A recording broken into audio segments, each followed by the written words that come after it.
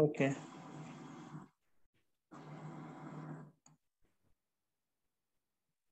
JPL digital consultancy द्वारा business solution and industrial automation विषय पर आयोजित वेबिनार में पूजा जी का एजीएस ऑटोमेशन सॉल्यूशन से स्वागत करते हैं हम स्वागत करते हैं सभी डिजिटल कंसल्टेंट का तो पूजा जी आप स्टार्ट कीजिए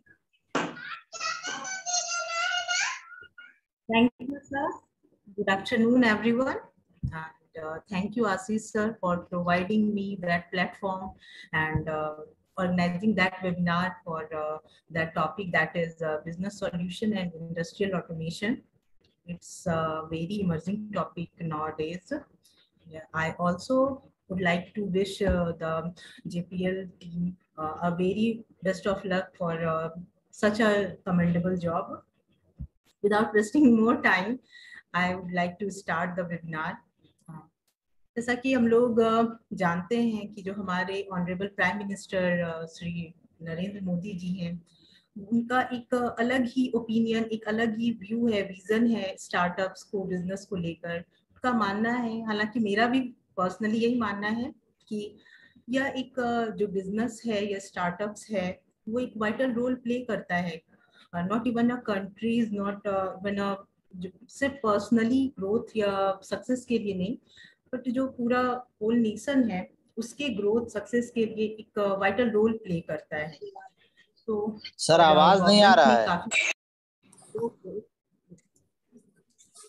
तो, जो हमारा जो आज का है वेबिनार का टॉपिक वो है business solution and industrial automation even and Now I'm sharing the screen.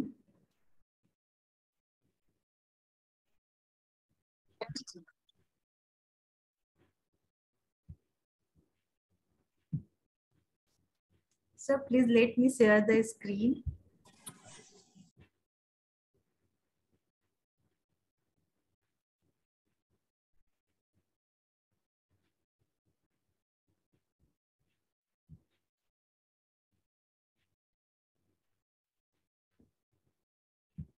Next slide, sir, please. As uh, we, the AGS automation, we provide uh, many business solutions uh, जो कि अभी जो business uh, related जितने भी problems हैं उनका one door one step solution हमारे पास है। And these are among solutions GST registration and return MSME Udyam registration जिसे उद्योग आधार भी कहा जाता है NSIC registration GeM registration and जो भी प्रोडक्ट्स हैं आपके उनकी listing digital signature certificate income tax return and TDS filing website and mobile app design digital marketing e tendering support जैसे आप कहीं भी टेंडर फिल करते हैं तो उनसे रिलेटेड जो भी प्रॉब्लम्स आते हैं वो हम उसके लिए we provide the help factory, trade, food and copyright license, document preparation for business loan, and uh, many such other solutions our company provides. Now, come to the first point, that is uh, GST, that is goods and service tax. GST क्या है? It is a single tax जो कि किसी भी goods या service के supply पर manufacturer direct लेता है कंज्यूमर से and it is effective from first of July 2017 हम लोग कह सकते हैं ना कि जीएसटी एक इनडायरेक्ट टैक्स है जो कि इंडिया को एक यूनिफाइड कॉमन मार्केट बनाने में हेल्प करता है।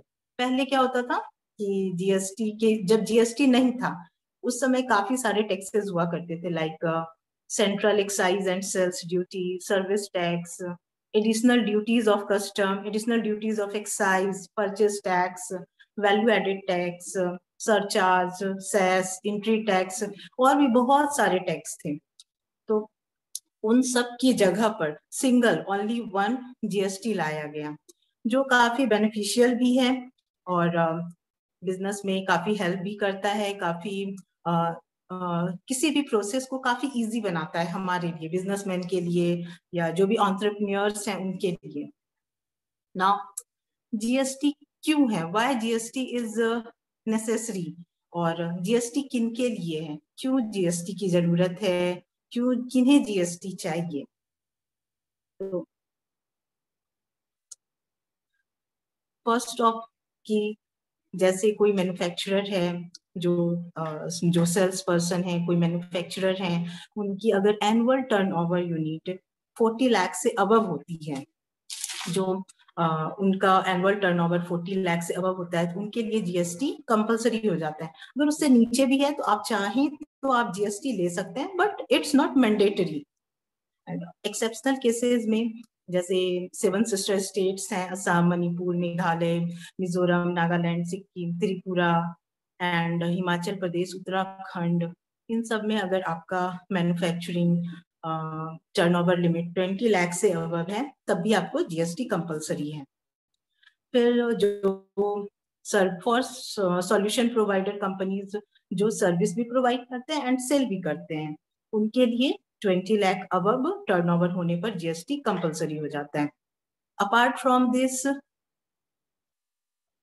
apart from this अगर आपका बिज़नेस इंटर स्टेट है, आप एक स्टेट से दूसरे स्टेट में जाकर बिज़नेस करते हैं या अपने प्रोडक्ट्स अपने गुड्स सप्लाई करते हैं then GST is compulsory there also and second things है थिंग है कि अगर जैसे जो आपका ई कॉमर्स प्लेटफॉर्म है like Amazon Flipkart India mart इन सब पे अगर आप बिज़नेस करते हैं, कोई प्रोडक्ट सेल करते हैं तो देन आपको जीएसटी कंपलसरी है।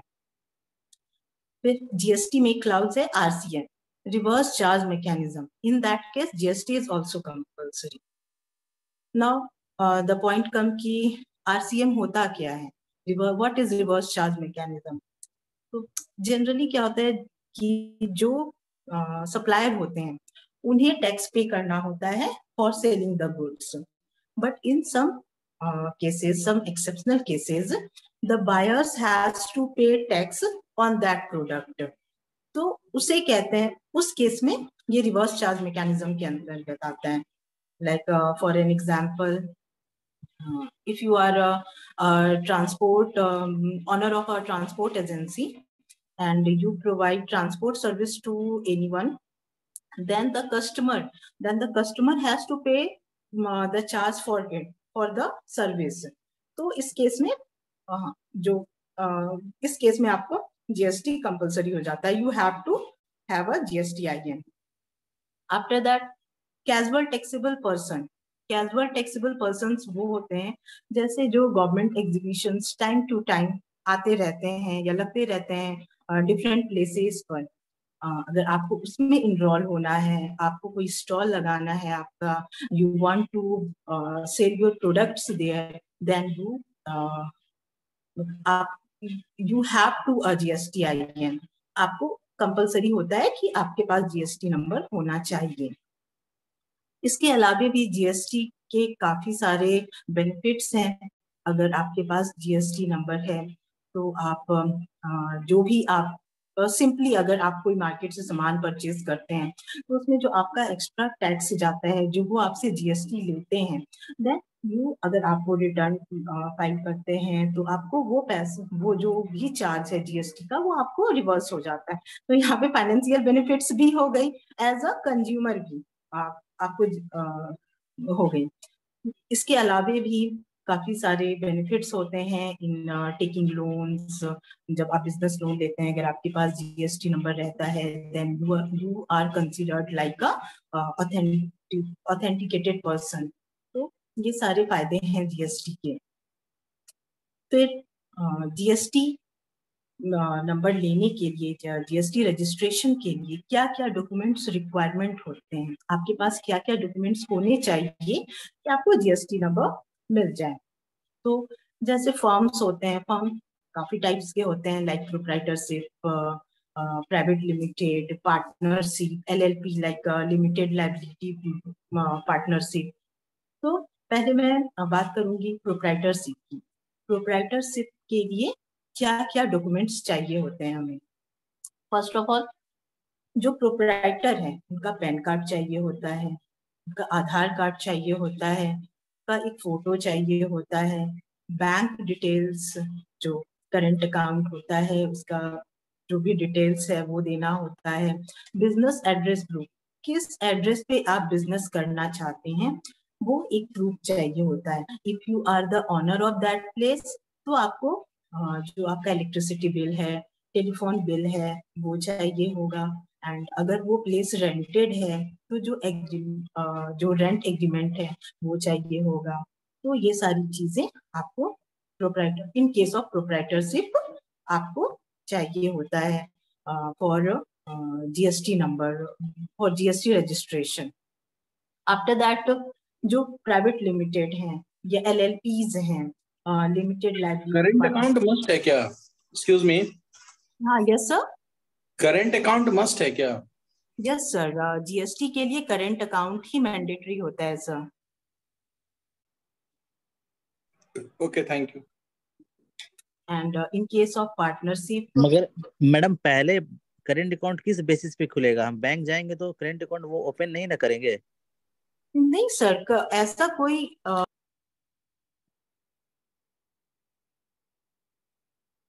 हेलो uh, जैसे सर जो आप जीएसटी के लिए जब अप्लाई करते हैं तो आपको एक नंबर मिलता है। तो उसके बाद वो उस बेसिस पे आपका करंट अकाउंट ओपन हो जाता है। और सर इसमें कुछ भी मतलब ऐसा नहीं है कि कोई प्रॉब्लम या कोई इशू क्रिएट होता है?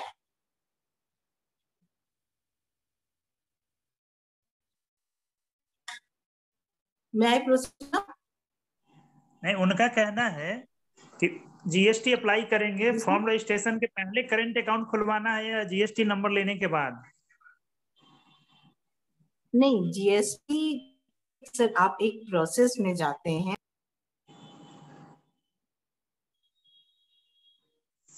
हेलो हाँ बोलिए कंटिन्यू कीजिए। आवाज़ आ रही है। सिर्फ़ इसमें जो जीएसटी जब नंबर आप लेते हैं मतलब तो जीएसटी लेते हैं आप करवाते हैं रजिस्टर तो उसके बाद फिर आपको करेंट अकाउंट अपडेट हो जाता है मतलब उसके बाद होता है। ओके। क्लियर हुआ तनवीर आलम? हाँ जी सर बिल्कुल क्लियर हुआ।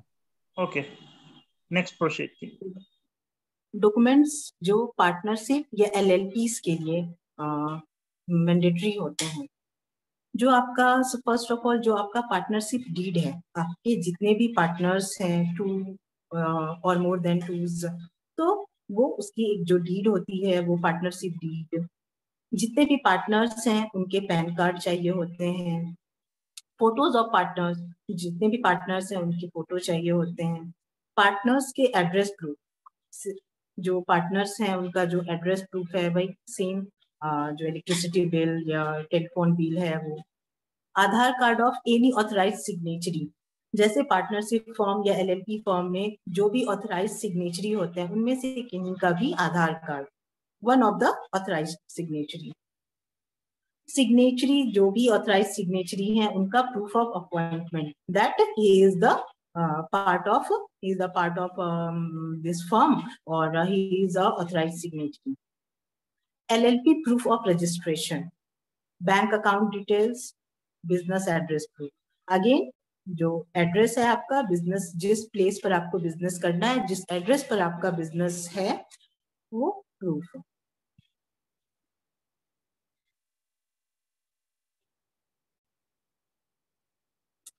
फिर जो कंपनीज़ हैं जैसे जो कंपनीज़ होती हैं, उनके लिए जीएसटी नंबर लेने में क्या क्या डॉक्यूमेंट्स रिक्वायरमेंट होती है?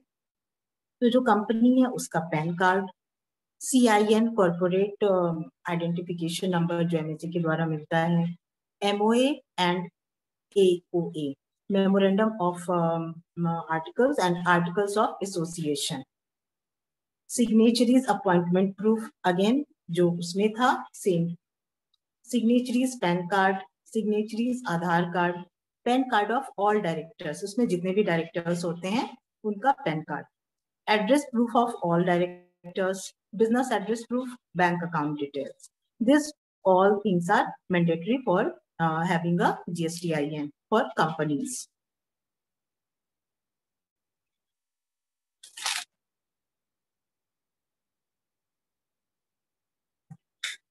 After that, कि जब आपको जीएसटी आई एन मिल जाता है, जब आपके पास जीएसटी आई एन होता है तो उसके बाद क्या करना है? हाउ टू मेंटेन दैट तो ऐसा नहीं है कि आपको जीएसटी नंबर मिल गया, आप बिज़नेस कर रहे हो, फिर वो भूल जाओ। वो चीज़ नहीं है। आपके बाद, उसके बाद आपको उससे मेंटेन करना है। Time to time GST return file करना है। जीएसटी फ़ाइल करना है रिटर्न फ़ाइल करना है। एनुअली फ़ाइल करना है। अगर इसमें अगर आप लेट करते हैं या कभी मिस कर देते हैं, जैसे ये क्वार्टरली भी होता है, आप क्वार्टरली भी फ़ाइल कर सकते हैं। चाहे तो आप इसे मंथली भी फ़ाइल कर सकते हैं। तो अगर आप इसे भूलते हैं या इग्नोर करते हैं then you have to pay a penalty for that और जो, और ऑब्वियसली जो आपका, जो भी फर्म का जो एक रेपुटेशन है, एक क्रेडिट है, वो तो ये सब कुछ जो भी है ऑनलाइन है तो वो भी आपका खराब होता है तो you have to maintain it and we are assisting for that also now come to the next topic that is MSME ministry of micro small and medium enterprises तो एमएसएमई क्या है? ये मिनिस्ट्री ऑफ़ माइक्रो स्मॉल जो सूक्ष्म, लघु एवं मध्यम उद्योग है, उस, वो भारत सरकार द्वारा संचालित है। ये भारत सरकार के अंतर्गत भी आता है। अब है कि एमएसएमई रजिस्ट्रेशन या एमएसएमई की इसे उद्योग जनरली इसे आम भाषा में उद्योग आधार कहते हैं। जैसे हमारा आधार कार्ड होता है ना कि जैसे उसमें हमारे सारे रिकॉर्ड्स होते हैं और एक ऑथेंटिकेशन मिल जाता है हमें आधार कार्ड के थ्रू सेम प्रोसेस इसमें भी है। उद्योग को एक ऑथेंटिकेशन मिल जाता है इसीलिए उसे उद्योग आधार ही भी कहते हैं। एमएसएमई अगर आप रजिस्टर्ड हो आप, आपका बिज़नेस आपकी कंपनी आपका फर्म एमएसएमई रजिस्टर्ड है तो उस चीज़ को एक ऑथेंटिकेशन मिल जाता है कि आ, ये सही है या तो आ, मेरे मेरे ख्याल से तो खैर ये बहुत ही ज़रूरी है। बाकी बात करते हैं कि जो बेनिफिट्स हैं एमएसएमई के वो क्या है? सबसे फ़र्स्ट बेनिफिट तो यही है कि अगर आप बिज़नेस लोन के लिए जाते हो बैंक में तो आपको बहुत सारे पेपर्स चाहिए होते हैं। एक आपको वो कोलेट्रल चाहिए होता है, कुछ गारंटी के में या कुछ भी। तो वो अगर आप एमएसएम आपका फॉर्म या आपका बिज़नेस एम एमएसएमई रजिस्टर्ड है तो आपको कोलेट्रल फ्री लोन अप्रूव हो जाता है इजिली फिर जो रेट ऑफ़ इंटरेस्ट है उसमें भी काफ़ी सब्सिडीज मिलती है काफ़ी कम रेट ऑफ़ इंटरेस्ट रहता है। हर बिज़नेस के लिए अलग अलग होता है हर कैटेगरी के लिए अलग अलग होता है। सरकार का अभी के टाइम में सरकार का एक काफ़ी ज़्यादा फंड और काफ़ी ज़्यादा ध्यान है एमएसएमई की तरफ़ और जो बिज़नेस है उनकी तरफ़ तो सब्सिडी भी काफ़ी अच्छी जो हैंडसम होती है ना वो, वो उस रेट की मिलती है। उस परसेंटेज की मिलती है। सब्सिडी ऑन फ़ीस तो जैसे कि हम लोग ट्रेड मार्क लेते हैं या किसी भी, अपने किसी भी प्रोडक्ट को पेटेंट कराते हैं तो उसमें हमारा काफ़ी ह्यूज अमाउंट खर्च होता है। तो सरकार उस चीज़ के लिए, वो जो फ़ी होती है, उसकी 50 टू 80 परसेंट हमें रिम्बर्स कर देती है और विद इन 45 डेज़ वो रिम्बर्समेंट हमारे अकाउंट में आ जाता है। तो ये काफ़ी बड़ा बेनिफिशियल सा चीज़ है हमारे लिए अगर आप एमएसएमई रजिस्टर्ड हैं तो। फिर जैसे प्रोटेक्शन फ्रॉम डिलेड पेमेंट कभी कभार हम लोग किसी बायर को कोई प्रोडक्ट सप्लाई करते हैं या कोई सर्विस प्रोवाइड करते हैं तो कभी कभार होता है ना कि हमारा पेमेंट डिले होता है डिले नहीं, काफ़ी डिले हो जाता है। तो इसके लिए एमएसएमई में एक क्लाउज है, अगर आप उस चीज़ को लेकर के कंप्लेन करते हैं कि हाँ आपका पैसा या आपका पेमेंट यहाँ से रुका हुआ है या डिलेड है। तो within forty five days आपका पैसा आपको मिल जाता है और अगर नहीं मिला तो आफ्टर फोर्टी फाइव डेज़ वो जो आपका पेमेंट है, वो जो अमाउंट है, वो कंपाउंड इंटरेस्ट के के उस पर कंपाउंड इंटरेस्ट स्टार्ट हो जाता है। आपको जब भी वो पैसा मिलेगा, वो विद कंपाउंड इंटरेस्ट मिलेगा। वो होल अमाउंट मिलेगा स्पेशल रिजर्वेशन हैं जैसे कि बहुत सारे कैटेगरीज को लेकर, जैसे विमेन है ओबीसी है सबको लेकर के काफ़ी ज़्यादा रिजर्वेशन हैं एनएसएमई में काफ़ी हायर परसेंटेज पे सब्सिडी मिलती है। जैसे लोन भी काफ़ी फिफ्टी परसेंट सेवेंटी परसेंट के सब्सिडी पे हमें मिल जाती है। फिर है हमारा इंटरनेशनल ट्रेड फेयर हमारे लिए तो जैसे कि अगर कोई मैन्युफैक्चरर है, उसे कोई गवर्नमेंट मान लीजिए कोई इंटर स्टेट ही गवर्नमेंट एग्जीबिशन में पार्टिसिपेट करना है तो उसे समझ नहीं आता कि कैसे करूँ, कहाँ अप्लाई करूँ, कैसे जाना है। लेकिन एमएसएमई इंटरनेशनल हो इंटरेस्ट रेट हो या इंटरनेशनल हो, हर चीज़ के लिए सब्सिडी भी प्रोवाइड करती है एंड जो ये स्टॉल वगैरह सब कुछ वो बुकिंग एमएसएमई ही करवाती है। इंटरनेशनल ट्रेड फेयर अगर कहीं होता है तो उसके लिए अप टू 1.5 लाख की रिम्बर्समेंट होती है। अगर आपका उसने मतलब जो डेढ़ लाख के का जो अमाउंट है, वो आपको रिम्बर्स हो जाता है in case of international trade fair अगर इंटर स्टेट है तो उसके charges fifteen thousand to forty five thousand आपको रिम्बर्स होते हैं एमएसएमई के द्वारा if you are MSME registered company security deposit exemption जैसे हम लोग टेंडर्स में पार्टिसिपेट करते हैं, जो गवर्नमेंट टेंडर्स होते हैं, वहाँ पार्टिसिपेट करते हैं तो कहीं three percent to seven percent हमें एस डी सिक्योरिटी डिपोजिट पहले देना पड़ता है। लेकिन अगर आप एमएसएमई रजिस्टर्ड कंपनी है तो आपको उस, उसको देने की कोई ज़रूरत नहीं है। You are exempted from that amount hundred percent reimbursement of ISO certification fee ISO certificate लेने के लिए जो भी हमारा चार्ज जाता है, उसका हंड्रेड परसेंट जो भी अमाउंट होता है, वो रिम्बर्स हो जाता है within forty five days if you are MSME registered इसके अलावे भी जो ई प्रोक्यूरमेंट होता है ई टेंडरिंग होता है या कोई भी गवर्नमेंट टेंडर्स आते हैं उसके लिए वन ऑफ़ दी कंपल्सरी जो पॉइंट होता है एलिजिबिलिटी क्राइटेरिया होता है, वो होता ही है कि आप एमएसएमई रजिस्टर्ड e होने ही चाहिए। उसके अलावे जो अभी नई स्कीम आई है, उसके तहत है कि जो भी पीएसयूज हैं, महारत्न कंपनी हो, नवरत्न कंपनी हो, या पब्लिक सेक्टर यूनिट हो प्राइवेट सेक्टर यूनिट हो, इन सबको एक बाउंडेशन दिया गया है कि आपको 14 परसेंट टू थर्टी परसेंट जो भी टेंडर्स हैं, वो एमएसएमई को ही देने हैं। एमएसएमई रजिस्टर्ड जो कंपनी है, आपको उन्हें ही देने हैं और उन्हें एनुअली ये शो करना पड़ता है। Ministry of small macro small and medium enterprises को ये डाटा शो करना पड़ता है कि उन्होंने इतने परसेंटेज एमएसएमई रजिस्टर्ड कंपनी को टेंडर्स अलॉट किए हैं या नहीं। तो ये काफ़ी बड़ा काफ़ी बेनिफिशियल स्टेप है एमएसएमईज के लिए। तो क्यों नहीं हम लोग इसका फ़ायदा उठाएँ और एमएसएमई रजिस्ट्रेशन ले लें अपने आप को इंडियन गवर्नमेंट के इसमें मतलब ऐसे भी हमारा, जैसी एमएसएमई रजिस्ट्रेशन हम लोग लेते हैं we are registered under government of India कि हमारी कंपनी गवर्नमेंट ऑफ़ इंडिया के अंदर रजिस्टर्ड हो गई।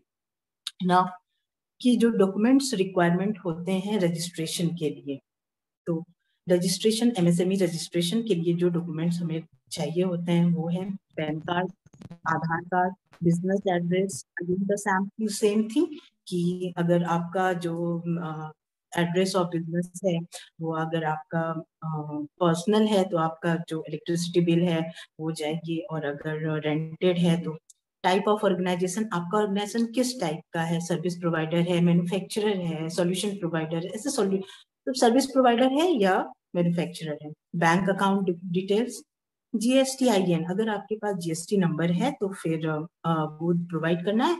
Otherwise it is not mandatory for MSME registration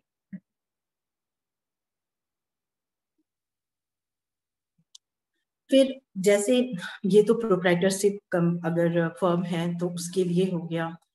but अगर उसकी पार्टनरशिप है या प्राइवेट लिमिटेड है तो इन दैट केस सेम उसमें वही है एमएसएमई रजिस्ट्रेशन के लिए कुछ भी नया नहीं है।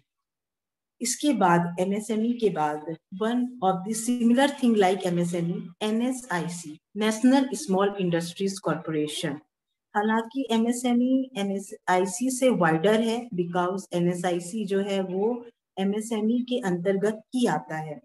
बट कुछ चीज़ें हैं, जैसे फॉर मैन्युफैक्चरर्स ओनली ये सर्विस प्रोवाइडर के लिए नहीं है एनएसआईसी ये ओनली फॉर मैन्युफैक्चरर्स है, जिनका अपना मैन्युफैक्चरिंग यूनिट है, जिनकी अपनी इंडस्ट्री है कोई, वो कुछ भी मैन्युफैक्चर कर रहे हैं। This is only for that NSIC is only for that तो एनएसआईसी पे क्या फ़ायदे हैं?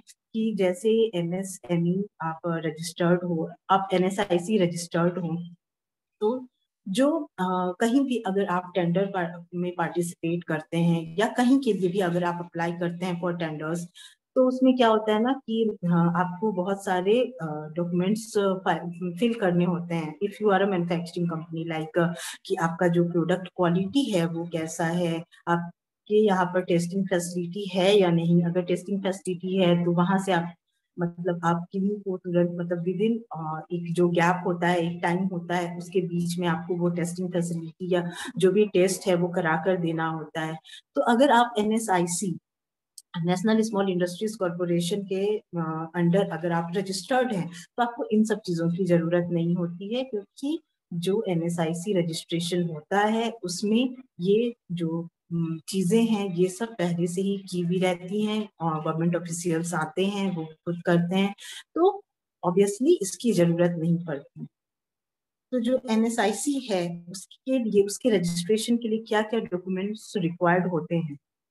PAN card MSME certificate details of plant and machinery जो प्लांट जो प्लांट या जो मैन्युफैक्चरिंग यूनिट आपका है, उसके अंदर क्या मैन्युफैक्चर हो रहा है? जो मशीनरी आपकी लगी हुई है, उसके जो सारे डिटेल्स हैं, उसकी कैपेसिटी या आपने उसे कहाँ से लिया, कहाँ से परचेज किया, उसकी कैपेसिटी क्या है मतलब कितने इयर्स ओल्ड है every every details of that every minute details of that फिर बिज़नेस एड्रेस जो आपका यूनिट है, वो कहाँ पर है, वो address list of quality control equipment and testing facility जो list of quality control equipment है दिस इज़ फॉर मशीनरी जो आपकी वहाँ पे मशीन्स लगे हुए हैं उनकी जो क्वालिटी कंट्रोल रिपोर्ट होती है वो चाहिए होती है और टेस्टिंग फैसिलिटी टेस्टिंग फैसिलिटी ये आपको uh, जो भी मशीन्स हैं उनकी टेस्टिंग फैसिलिटी होती है फ्रॉम द मैन्युफैक्चरर्स तो वो आपको प्रोवाइड करनी होती है। Audited balance sheet three years up to three years तक का ऑडिटेड बैलेंस शीट देना होता है। अगर आपका फॉर्म उतना पुराना नहीं है तो फिर भी आपको वन ईयर का मिनिमम वन ईयर का आपको ऑडिटेड बैलेंस शीट आपको देना होगा। वो मैंडेटरी है। List of directors and their share holding जो भी डायरेक्टर्स हैं, उस प्लांट के, अगर हैं तो अगर हैं, उस प्लांट के कोई डायरेक्टर्स हैं मतलब मोर देन वन है, और उनका कितना शेयर है ईच एंड एवरी डायरेक्टर्स का कितना शेयर है, वो सब आपको देना होगा। एमओए जो मेमोरेंडम ऑफ़ आर्टिकल है एंड बोर्ड रेजोल्यूशन ये आपको प्रोवाइड करना होगा। इतने डॉक्यूमेंट्स आपके लिए मैंडेटरी हैं। And this is for national small industries corporation now come to GeM government e market place जैसे हम लोग गवर्नमेंट ई मार्केट प्लेस जैसे, जैसा नाम से ही क्लियर है कि ये एक गवर्नमेंट का मार्केट प्लेस है। जैसे एस एक मार्केट है जो गवर्नमेंट के द्वारा हम एंटरप्रेन्योर्स को प्रोवाइड किया गया है, जहाँ हम अपने प्रोडक्ट्स अपने सर्विसेज़ सेल कर सकते हैं। And many government sectors are bounded to buy their products and services from GeM जो अभी भारत सरकार का जो है कि आपको जितने भी गवर्नमेंट सेक्टर्स हैं, जितने भी गवर्नमेंट यूनिट्स हैं, उन सबको अपना प्रोडक्ट और सर्विस बहुत बहुत प्रोडक्ट एंड सर्विस दोनों आपको जैम पर से ही बाय करने हैं। तो ये ऐसे भी हमारे लिए मैंडेटरी हो जाता है आजकल के समय में कि हमें अपने आप को जैम पर रजिस्टर्ड कराना है। तभी हम वहाँ टेंडर्स में पार्टिसिपेट कर सकते हैं और हमें अपना प्रोडक्ट या सर्विस सेल कर सकते हैं। तो बेनिफिट्स क्या है जेम का? Direct access to all departments of government जैसा कि मैंने कहा कि जितने डिपार्टमेंट्स हैं गवर्नमेंट के they are bounded to buy their products और सर्विसेज़ फ्रॉम जेम ओनली तो हमारा डायरेक्ट एसेस हो जाता है गवर्नमेंट के सारे डिपार्टमेंट्स अगर हम लोग, ये तो वर्चुअल है बाकी अगर हम लोग फिजिकली अगर कांटेक्ट करना चाहें तो हम लोग कितने डिपार्टमेंट्स को गवर्नमेंट के कितने डिपार्टमेंट्स को कांटेक्ट कर सकते हैं? अगर करेंगे भी तो हम लोग रीजनली करेंगे या स्टेट वाइज करेंगे। बट यहाँ पर आप ऑल ओवर इंडिया किसी भी स्टेट के, किसी भी रीजन के सारे डिपार्टमेंट्स को कॉन्टेक्ट कर सकते हैं through GeM one stop shop for marketing with minimal efforts आपका एक वन स्टॉप शॉप है मतलब जेम है वर्चुअल मार्केट है, यहाँ आप मिनिमल इफर्ट आपको बस अपनी प्रोडक्ट या सर्विस लिस्ट करनी है। Tenders time to time tenders आते हैं, उसमें आपको पार्टिसिपेट करना है। देन यू आर मतलब you are about to sell your product और सर्विसेज़ आप। तो इसमें कोई सा भी इफर्ट नहीं लगता। अगर हम लोग फिजिकली अपना सामान, अपना कोई भी प्रोडक्ट या सर्विस अगर सेल करते हैं तो उसमें हमारा काफ़ी इफर्ट जाता है पेपर्स बनते हैं, सारा कुछ होता है, फिर इसको कांटेक्ट करो, इस ऑफिशियल को कांटेक्ट करो। इसमें ऐसा कुछ भी नहीं है मिनिमल इफर्ट है एंड ऑप्टिमल रिज़ल्ट है। आपका इफर्ट नहीं जा रहा है, लेकिन आपको रिज़ल्ट ऑप्टिमल मिल रहा है। New product suggestion facility available for sellers आप अगर फिजिकली अगर अपना सेल करते हैं, आपको पता नहीं चलता कि अदर स्टेट्स में या पूरे जो भी आपकी जैसे इंडिया में क्या नया आ रहा है? या आपका जो प्रोडक्ट है उसमें क्या नई टेक्नोलॉजी आ रही है? या उसको कैसे एडवांस किया जा रहा है? But on GeM you can see की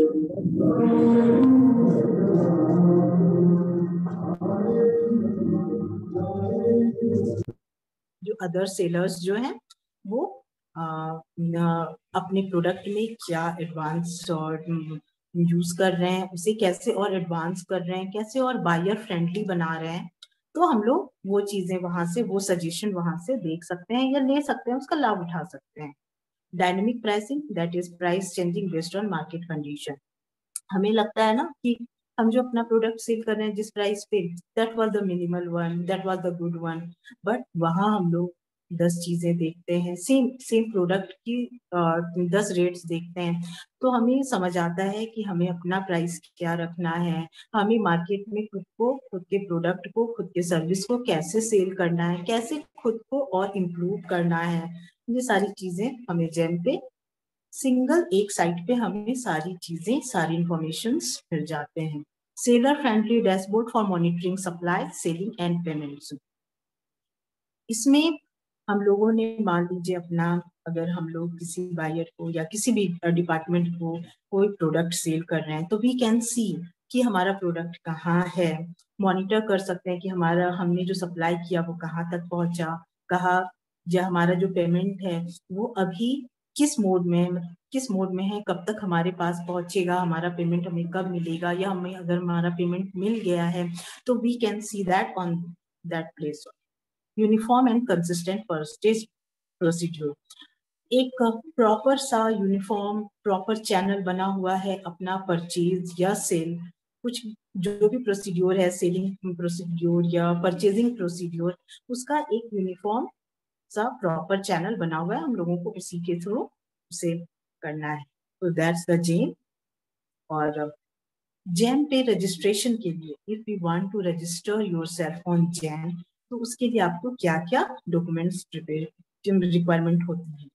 That is PAN card Aadhaar card MSME certificate अगर रिक्वायर्ड uh, है तो।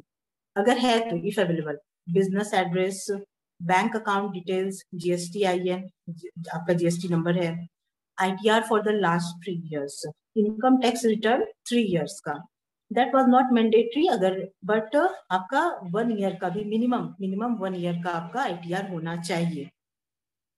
और अगर थ्री uh, इयर्स का है तो well and good that was very good तो ये हमारा जेम है और uh, जैसे कि जेम uh, पे अभी तो जैसे जैसा मैंने बताया जितने भी गवर्नमेंट डिपार्टमेंट्स हैं वो सारे जेम पर ही सारी जो भी परचेजिंग है, वो जेम के थ्रू ही कर रहे हैं। तो that was mandatory I think I think so that is mandatory to register every one on GeM वैसे we also provide the support for listing the products हम लोग जेम पर रजिस्ट्रेशन के लिए जैम पर जो प्रोडक्ट लिस्टिंग होती है, उसके लिए भी सपोर्ट देते हैं। और अगर कोई भी असिस्टेंस इसके लिए चाहिए तो we are available after that after GeM हमारे और भी जो सॉल्यूशंस हैं like digital signature certificate we also provide that income tax return and TDS filing we also we also design website and mobile app uh, as per requirement of the customers.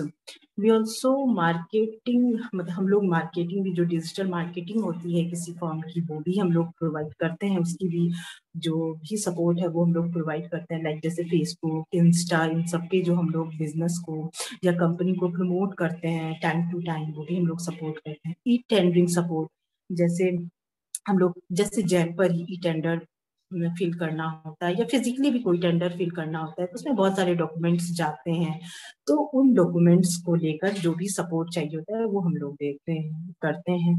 Factory trade food and copyright license इन सबसे related जो भी issues होते हैं, या जो licence जिन्हें चाहिए होता है we will document preparation for business loan जैसे अभी एक बहुत ही अच्छा सा स्कीम है सरकार का, कि वो बिज़नेस जो भी स्मॉल या माइक्रो बिजनेसेस हैं, उन लोगों को टेन लाख की सब टेन लाख लोन देती है, जिसमें फाइव लाख की सब्सिडी होती है मतलब फिफ्टी परसेंट सब्सिडी होती है। तो उसके लिए जो आपका प्रोजेक्ट जो डॉक्यूमेंट जो प्रोजेक्ट डॉक्यूमेंट बनता है तो हम लोग उसके लिए भी वो जो डॉक्यूमेंट प्रिपरेशन होता है, हम लोग वो भी प्रिपेयर करते हैं। एंड जो भी इसके अलावे जो भी आएगा नया business problems we will look into it Our next topic is industrial automation. Industrial automation ये अभी के टाइम का I think one of the most emerging topic है और अगर मेरे पॉइंट ऑफ़ व्यू से देखें तो ऑटोमेशन के बिना we can't imagine our life day to day life भी हम लोग ऑटोमेशन के बिना uh, नहीं सोच सकते अब घर में स्मार्ट टीवी ना हो स्मार्टफ़ोन ना हो तो थोड़ा सा लगता है कि कैसे लाइफ चलेगी? अगर मान लीजिए आपका एक दिन का, आपको बोल दिया जाए कि आप एक दिन बिना स्मार्टफ़ोन के रह लो तो लाइफ लगती है कि कितनी मुश्किल हो गई है। दैट्स ऑटोमेशन ऑटोमेशन का मतलब ही है ऑटो प्लस मोशन मीन्स कि किसी भी प्रोसेस को ऑटोमेटिक बनाना. दैट इज़ ऑटोमेशन बिहार थोड़ा सा इस चीज़ में पीछे है बट जो ऑटोमेशन है I think that was very amazing topic और अगर ऐसे कहूँ तो किसी भी इंडस्ट्री में अगर आप जाते हैं और अगर अच्छे से उसको स्टडी करते हैं, उस इंडस्ट्री के प्रोसीड्योर को, उस इंडस्ट्री को तो आपको समझ में आएगा कि कैसे ऑटोमेशन हर एक प्रोसेस को बहुत ही ऑप्टिमल और बहुत ही आसान बना रहा है। दैट्स वाई एम सेइंग कि automation is very important in now days life without wasting time um, I want to say benefits of automation. It uh, reduce cost and errors. ये cost को तो reduce करता है ये errors को बिल्कुल minimize I think uh, zero कर देता है errors को automation. रीयूजिबिलिटी एंड रिपीटेबिलिटी इससे उस चीज़ किसी भी चीज़ को रीयूज करने की रिपीट करने की एबिलिटी बढ़ती है follow standard process in production किसी भी प्रोडक्शन में, किसी भी मैन्युफैक्चरिंग में, एक जो फॉर स्टैंडर्ड प्रोसेस होता है, एक ऑप्टिमल प्रोसेस होता है, उस चीज़ को फॉलो करता है ऑटोमेशन तो इरर होता नहीं। जो आपकी प्रोडक्टिविटी है, वो इंक्रीज होती है टाइम कम लगता है, आपका जो मैन पावर है, वो कम लगता है। इंक्रीजेस कस्टमर सेटिस्फेक्शन अगर इरर फ्री प्रोडक्शन होगा तो कस्टमर सेटिस्फेक्शन ऑब्वियसली इंक्रीज करेगा। सेंट्रलाइज्ड कम्युनिकेशन ये सारे बेनिफिट्स हैं ऑटोमेशन के. देन इन ऑटोमेशन जो हमारा इंडस्ट्रियल प्रोडक्ट्स है ऑटोमेशन में हम लोग ओनली इंडस्ट्रियल प्रोडक्ट्स ही सप्लाई करते हैं बिकॉज़ जो भी इंडस्ट्रियल प्रोडक्ट्स हैं वो रोबस्ट होते हैं. किसी भी हैरिस कंडीशन में सस्टेनेबल uh, होते हैं. Twenty four into seven work करते हैं विदाउट एनी ईरर विदाउट बिना रुके. तो जो ये हमारा प्रोडक्ट है सैस है substation automated system SAS जो है वो एक तरह से ऑटोमेटेड डिवाइस है जो इलेक्ट्रिकल पैरामीटर्स एंड सिस्टम को मॉनिटर करता है कंट्रोल करता है इलेक्ट्रिकल सिस्टम को कंट्रोल कर, आ, ये मेनली इलेक्ट्रिकल सिस्टम में ही यूज़ होता है। और आ, ये बिल्कुल मतलब इलेक्ट्रिकल uh, जो भी पैरामीटर्स है उसको control we can control and monitor it from anywhere from any centralise location R T U R T SAS जो है आर टी यू का एडवांस्ड वर्जन है. SAS R T U is same like SAS it is also use in electrical system it is also use to control and monitor electrical parameters but ये SAS से थोड़ा सा previous कह सकते हैं कि सिस्टम है सैस ज़्यादा ऑटोमेटेड है और काफ़ी ऑप्टिमल है, काफ़ी मिनिमम टाइम लेता है। SCADA SCADA supervisory control and data acquisition system है, जो एक सेंट्रलाइज्ड डिवाइस है जो आईओटी एंड आईटी डिवाइस कह सकते हैं एचएमआई ह्यूमन मशीन इंटरफेस है। जैसे हमारा लैपटॉप है, वो भी एक तरह से एच एम आई है VPS video wall projector video projection system इसमें हम लोग video walls LED display control systems सब कुछ है। जैसे बीपीएस क्या है? एक, जैसे एक वीडियो वॉल है मतलब एक वीडियो प्रोजेक्शन सिस्टम है, ये किसी भी साइज़ का हो सकता है और हम लोग, ये इंडोर आउटडोर कहीं भी हम लोग यूज़ कर सकते हैं। ये एक मतलब सिंपली डिस्प्ले डिवाइस है। हम लोग डिस्प्ले के लिए इसे यूज़ करते हैं एंड इसकी साइज़ कुछ भी हो सकती है एज पर रिक्वायरमेंट हम इसे, जैसे जो है इसे कितने भी बिगर साइज़ में हम लोग डिस्प्ले कर सकते हैं as per customers requirement PLC programmable logic controller as ये जैसे इसके नाम में ही छुपा हुआ है कि ये एक तरह से कंट्रोलर है, हम लोग सेंट्रलाइज लोकेशन पे मतलब रहकर किसी भी चीज़ को कंट्रोल कर सकते हैं लाइक जैसे पाइपलाइन है तो उसका फ्लो है मतलब फ्लो है, उसका कितना फ्लो होना चाहिए, वो हम लोग मॉनिटर कर सकते हैं कहीं से एंड उसको हम लोग अपने नीड या रिक्वायरमेंट के हिसाब से उसे कंट्रोल भी कर सकते हैं। क्लाउड कनेक्टेड डिजिटल सर्विस ये जैसे हम जैसे हम अगर कोई डाटा है, जैसे हम आजकल क्या है, सब कुछ बिज़नेस में हो या इंडस्ट्री हो, वहाँ हर चीज़ एक डाटा है डाटा काफ़ी वैल्यूबल है। किसी भी टाइप का डाटा हो, जो कॉन्फिडेंशियल भी हो सकता है, या जैसे हमारे लैपटॉप में है, किसी रीजन से अगर हमारा लैपटॉप खराब हो गया, या सीपीयू में कोई प्रॉब्लम आ गई तो वो डाटा हमारा चला जाता है। तो उसके लिए हम लोग cloud connected digital services provide करते हैं। जैसे आपका इन सिंपलर वे अगर देखा जाए तो जो हमारा गूगल ड्राइव है, वो भी एक तरह से छोटा सा smaller version cloud connected digital service ही है। वहाँ आपका डाटा वर्चुअली सेव है, जिसे आप कहीं से भी, कहीं भी एक्सेस कर सकते हैं और वो बिल्कुल सेफ़ है। उसमें आपको बिल्कुल नहीं डरना है कि वो डाटा करप्ट हो जाएगा, खत्म हो जाएगा या we have loss the data loss the data तो ऐसा कुछ नहीं है, वो आपका सेफ़ है। जीपीआरएस मॉडम और जो हम लोग नेट यूज़ करने के लिए थ्रू द सिम यूज़ करते हैं router for routing the WiFi switch and firewall switch एक तरह से जो कॉमनली हम लोग स्विच यूज़ करते हैं, ये जो एक्सटेंशन यूज़ करते हैं, बस वही है कि अगर आपको उस चीज़ को आगे बढ़ाना है then this is switch firewall it is like a protection जैसे हम लोग एंटीवायरस लैपटॉप में डालते हैं ना, वैसे ही इंडस्ट्रियल जो भी इक्विपमेंट्स हैं, उनके लिए वो एंटीवायरस है. One one of the type of antivirus firewall is like a protection for outer threats FOTE fibre optical transmission equipment like ये मान लीजिए जैसे कि uh, आपका uh, जो इंडस्ट्री है या आपका जो प्लांट है वो वन टू किलोमीटर्स के रेडियस में फैला हुआ है. देन अगर कोई इस छोर पर आपका डिवाइस है उसको अगर हमें कनेक्ट करना है दूसरे छोर पर के डिवाइस से then how we can do that we will use FOTE for that ये फाइबर ऑप्टिकल ट्रांसमिशन इक्विपमेंट है, जो फाइबर के थ्रू वर्क करता है।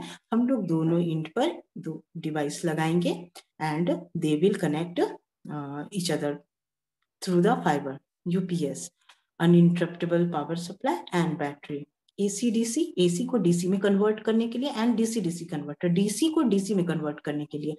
मान लीजिए कि अगर आपके पास 48 वोल्ट की डीसी है एंड यू नीड अगर आपको उतने वोल्ट की ज़रूरत नहीं है देन अगर आप 48 को 12 वोल्ट में 24 वोल्ट डीसी में अगर आप कन्वर्ट करना चाहते हैं then DC to DC inverter office automation office automation जैसे आपको वहाँ पर uh, नंबर ऑफ़ सिस्टम्स चाहिए यूपीएस चाहिए सीपीयूज चाहिए या स्मार्ट या जैसे प्रोजेक्टर चाहिए या वीपीएस चाहिए then that is office automation industrial PC जो पर्सनल कंप्यूटर होता है वो इंडस्ट्रियल इंडस्ट्रियल कहने का मतलब ये है कि वो रोबस्ट हो 24 फोर इंटू सेवन वर्क करे बिना इरर के एंड हम किसी भी हैरिस कंडीशन में किसी भी प्रॉब्लम में uh, वो अपने आप को सस्टेनेबल बनाकर रखे that is industrial PC laptop CCTV and many more CCTVs हैं। सीसीटीवीज तो हम लोग प्रोवाइड करते ही हैं। आफ्टर दैट जैसे आपको सीसीटीवीज को कंट्रोल करना है that we also provide that हम लोगों का कुछ प्रोडक्ट्स ई कॉमर्स पे भी अवेलेबल है like Amazon Flipkart India Mart इन सब पे भी हम लोगों के कुछ प्रोडक्ट्स हैं, जो उससे हम लोग इंडस्ट्रियल ओनली इंडस्ट्रियल प्रोडक्ट्स जो हम लोग सेल करते हैं। और हम लोग उस पर ईजीएस स्टोर के नाम से we are also an GeM only GeM पर भी हमारी कुछ सर्विसेज़ हैं लाइक एम वगैरह हम लोग सेल जेम पर भी प्रोवाइड करते हैं। हमारा जो सर्विस प्रोडक्ट है वो है कम्युनिकेशन नेटवर्क जैसे किसी भी आ, कहीं भी कम्युनिकेशन क्रिएट करना जैसे मैंने बताया कि फोटे के यूज़ में कि वहाँ से वहाँ तक हम लोग कम्युनिकेशन एक नेटवर्क बनाते हैं that is communication network AMC annual maintenance contract जैसे आपका, जैसे अब आपके यहाँ पर सीसीटीवी ही है सिस्टम्स हैं या वीपीएस है यूपीएस है, इन सबको लेकर AMC annual maintenance contract battery replacement services आपके पास बैटरी बैंक्स हैं जो काम नहीं कर रहे हैं then battery replacement services extended warranty and out of warranty service आपकी जो वारंट जो वारंटी है, उसको एक्सटेंड करना या वारंटी से टाइम पीरियड से लैप्स हो गया है देन वो भी सपोर्ट हम लोग देते हैं। जो हमारे प्रेस्टिजियस कस्टमर्स हैं, जिनके साथ हम लोगों ने काम किया है that was a big name in that industry वो हैं H P C L biofuels limited इनके बिहार में दो दो प्लांट हैं, हम लोगों ने उन दोनों के साथ काम किया है। Tata power Shree cement Magadh sugar and energy limited response solar Hindustan Urvarak Rasayan limited ये बिहार के लिए नया है but a very big name for P S Us ये हमारे प्रेस्टिजियस कस्टमर्स हैं and many more yet to come हम लोग जिस जिस ब्रांड को रिकमेंड करते हैं, वो हैं Siemens Delta Schneider Allen Bradley APC जो स्नाइडर का ही है Vertiv Oriental motor Tejas networks Amara Raja Exide Teltonika Cisco Dell H P Cords Polycab Mean Well Rittal Luminous Check Point कुछ ब्रांड्स इसमें ऐसे हैं जो आउट ऑफ़ इंडिया के हैं but we are authorise for selling that we are authorise for partner for that ये हमारे we recommend only this brands और जैसा कि हम लोगों का ऑटोमेशन इंडस्ट्री है या जो बिज़नेस सपोर्ट है, दोनों की अगर मैं बात करूँ तो we only deal with the best thank you And for any assistance, any query, uh, you can contact us. Uh, here is the address, contact number, email ID. Thank you. Any queries, please?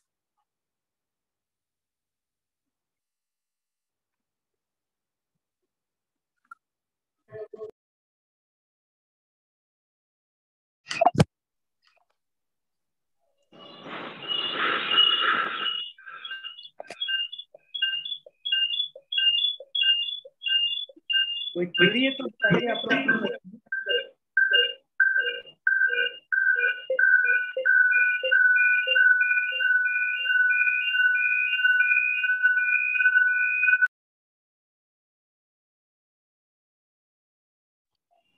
इन्हीं का कोई Curie है तो पूछ सकते हैं।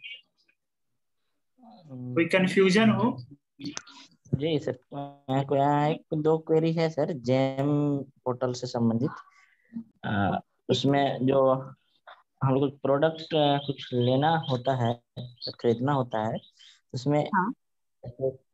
H बनाना होता है एचओडी के अंदर बायर एंड कंसाइनी और पीएओ पेमेंट अथॉरिटी बनाना होता है तो हमने जो बायर एंड कंसाइनी बनाए हैं हम्म। उसमें जो कोई भी सामान परचेज करते हैं तो मान लेते हम्म। हैं कि एक पेन ही है और पेन सेल करने के लिए ढेर सारे उस पे सेलर हैं।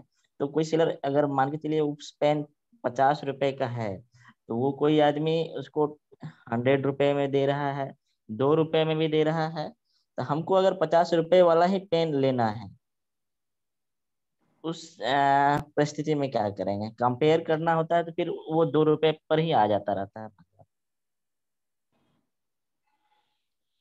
उसके लिए, सर, जो आपका अपना उसमें स्पेसिफिकेशन आते हैं, वो आपको अपना स्पेसिफिकेशन मैच करना होता है। आपको वो आप, जो भी आपका, जो भी आपकी नीड है, वो प्रॉपर स्पेसिफिकेशन आपको देना होता है। जैसे हम लोग, सर सिंपली ऐसे देखिए ना, हम लोग जो किसी भी ई कॉमर्स पे हम लोग जब किसी भी चीज़ को बाय करते हैं तो हम लोग कैसे उसमें फिल्टर्स पे फिल्टर्स डालते रहते हैं? सेम कंडीशन उसमें भी है उसमें भी आपको वैसे ही एक तरह से स्पेसिफिकेशन मैच कराना होता है। हम कंपेयर के क्या फ़ायदे हैं? एमएसएमई के बारे में बताया इंडस्ट्रियल इनका जो प्रोडक्ट है सर्विसेज़ है ऑटोमेशन सभी के बारे में जो इन्होंने अच्छा प्रस्तुतिकरण दिया उसमें कोई क्यूरी है तो बताइए। उसमें कुछ पूछना है कोई डाउट है तो पूछ लीजिए। और एक ही सेशन में आ, सब कुछ समझा पाना बहुत टफ काम था लेकिन फिर भी इन्होंने प्रयास किया है कि एक ही सेशन में एक घंटे के सेशन में बारे में अच्छा से बताया जीएसटी के बारे में बताया है जेम क्या होता है इसका क्या क्या फ़ायदे हैं ठीक है? ये बेसिक जानकारी सभी को होना चाहिए। मान लीजिए आप तीन लेवल पर काम कर रहे हैं। लीड और कस्टमर में अंतर होता है। लीड वो होता है कस्टमर वो होता है जिसको पता है क्या बेनिफिट्स मिलता है क्या बेनिफिट्स का ऑटोमेशन बट लीड को नहीं पता होता, आप उनको बताएँगे कि फ़ायदा है, जो खाली जो बिज़नेस कर रहा है तो आप बताइए बिज़नेस ऑटोमेशन से क्या फ़ायदा है। तब ऑटोमेशन करवाएगा वो। ठीक है? लेकिन जो फ़ायदा जान रहा है, वो कस्टमर है क्लाइंट है वो आपसे पूछने नहीं आएगा कि क्या फ़ायदा है उस चीज़ को बताएगा कि मेरा ये काम करना है, करवा दीजिए। उसको कस्टमर बोलते हैं। और कुछ लोग ऐसे होंगे जिन, जो, जिनको पता नहीं है कि इससे क्या फ़ायदा होगा। तो उनको फ़ायदा बताना पड़ेगा बेनिफिट्स बताना पड़ेगा कि ये बेनिफिट से आप ऑटोमेशन करवा लीजिए। ये बेनिफिट से आप जेम जेम पे लिस्टिंग करा लीजिए प्रोडक्ट को। गवर्नमेंट ऑफ़िस में अगर सप्लाई करना चाह रहे हैं तो। जीएसटी से क्या फ़ायदा है? तो वो लीड हुए। तो लीड को थोड़ा सा एक्सप्लेन करना पड़ेगा, हमको बताना पड़ेगा। तब वो कन्वर्ट होंगे कस्टमर में। तो हम लोग का बेसिक पर्पस यही था आज का सेशन का कि आप लोग बेसिक बातें समझ लें कि जेम क्या होता है जीएसटी क्या होता है एमएसएमई क्या होता है ऑटोमेशन क्या होता है और इससे क्या क्या फ़ायदा है। और उन, इसके अलावा जो इनका प्रोडक्ट एंड सर्विसेज़ जिन्होंने पीपीटी में अभी दिखाया है, वो सबको हम लोग अपने प्लेटफॉर्म पे भी लिस्टिंग करेंगे, ताकि आप उसको भी रेफर कर सकें। ठीक है दिवाकर? जी जी सर, ठीक है। मेन मोटो यही है। बट आप जो क्वेश्चन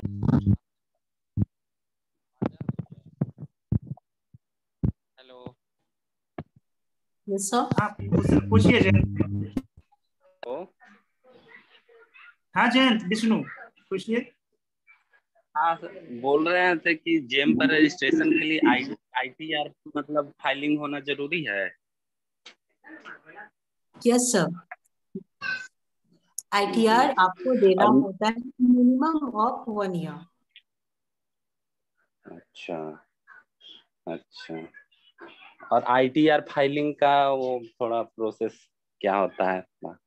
बता देते मैं नेक्स्ट सेशन में रखेंगे विष्णु जी। एक घंटे के सेशन में हर चीज़ को डिटेल से सम, समझना संभव नहीं है। Okay. आईटीआर एक डिटेल टॉपिक हम लोग अगले संडे या कमिंग संडे में रखेंगे।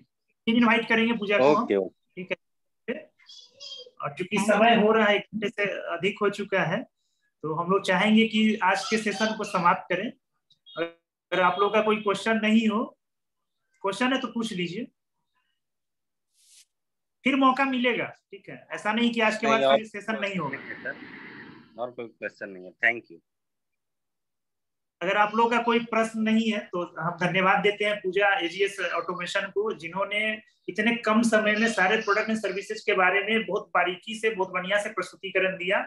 और हम उम्मीद करेंगे कि आने वाले कमिंग संडे में भी आपका टाइम लेंगे और लाभ उठाएँगे हम लोग इसको। और एक प्लेटफॉर्म पे हम लोग काम करने की कोशिश करेंगे। Thank you sir thank you ये प्लेटफॉर्म देने के लिए हम मुझे कि मैं अपने मतलब जो भी है प्रोडक्ट्स या सर्विसेज़ उनको लोगों के सामने इलेबरेट कर सक, पहुँचा सकूँ, उसके लिए वेरी थैंक्स थैंक यू आप सभी का धन्यवाद। सभी प्रतिभागियों को भी बहुत बहुत धन्यवाद।